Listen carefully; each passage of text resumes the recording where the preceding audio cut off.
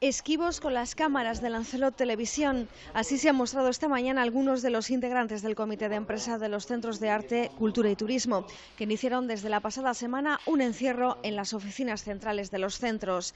Piden que se aplique la resolución del Gobierno sobre las jornadas laborales. Los trabajadores argumentan que llevan desde el 4 de noviembre reclamando el cumplimiento de esta resolución aseguran que la empresa no dudó en aplicar los recortes estatales sobre las pagas extraordinarias y ahora dilatan en el tiempo el devolvérselas, como ocurre con otros funcionarios del Cabildo.